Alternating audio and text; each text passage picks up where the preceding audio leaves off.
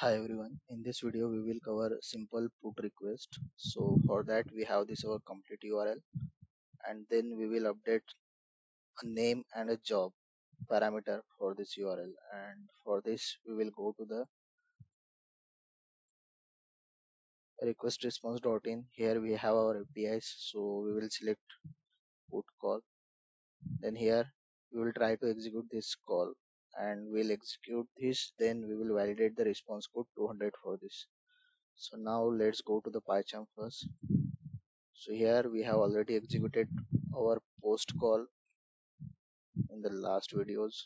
So I will just copy this and then I will paste it here. Now I will modify this. So this is for the put call. So I have renamed this as a put request demo. Now we will modify this. So our endpoint is slash API users slash two.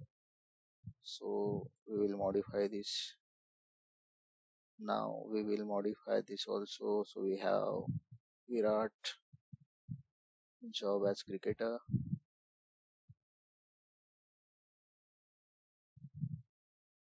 and then instead of post we will use put now our body is ready. We will log our response status code and response content on the console. And we will validate our response code. So this is our test case.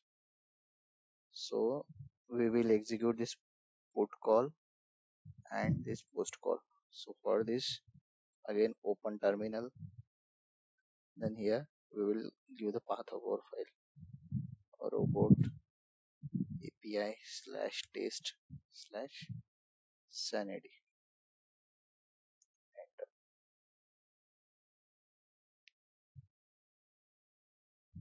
So as you can see it has executed both the calls. So both the calls are passed 2 out of 2 now we will check the report. So open the report in browser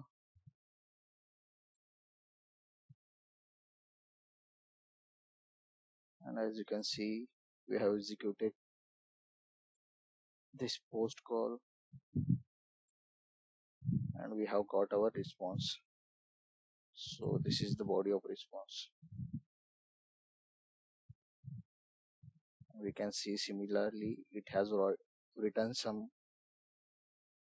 200 201 as a status code on the console